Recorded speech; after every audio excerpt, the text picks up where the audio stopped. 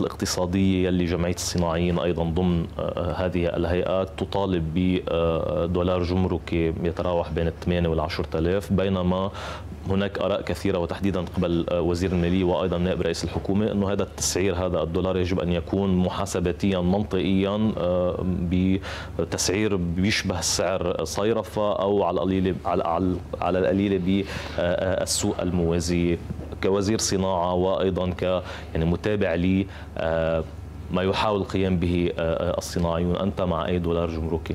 أنا أول شيء مع توحيد السعر الصرف. هيدا واحد. هيدي من الاشياء هيدي من الخطط الإصلاحية وهيدي إشياء مطلوبة للمرحلة الجاية.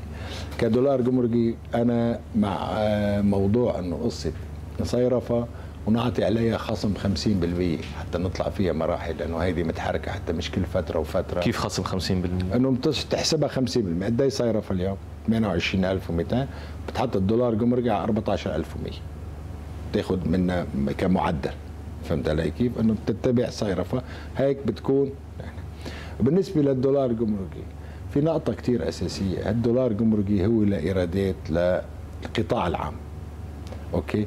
اليوم على 8000 مع 10000 حتى حسب الحسابات.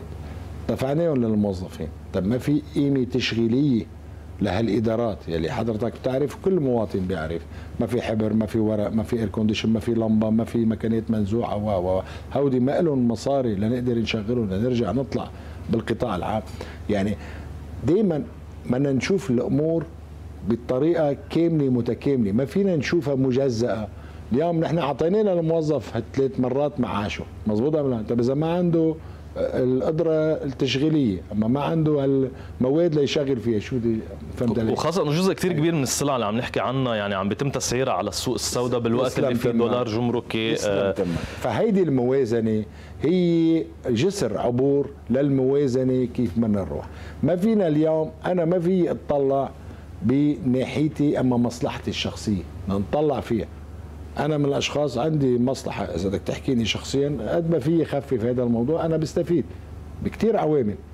وحدة منهم مثل التي في نقبض الدولار فريش ندفع الدولار تي في على 1500 قد إيه في مصاري عم تخسرهم؟ هناك وأنا قابض على الفريش وبعضهم التي في على العالي مثلا. مش كلهم أكيد بس إنه فيها من الحالات إنه هاي الفاتورة بس هي بعد على 1500 و و و و و هيدي بدها تصبح لأنه القطاع الخاص القسم الأكبر من القطاع الخاص حتى في يقول لك إيه أغلبيته رجلج.